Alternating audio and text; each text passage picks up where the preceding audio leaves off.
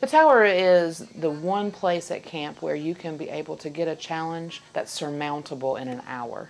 And that's amazing to say, look at this thing I've never done before. I don't know if I can do it. And that feeling of empowerment and connection to their inner strength by being able to get the top in a safe and secure environment.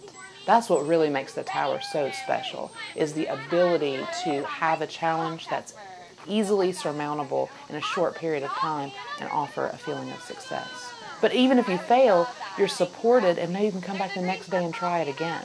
So it's a place where girls have the right to make mistakes in a nurturing environment where they don't feel bad about not succeeding. They feel good about having even tried.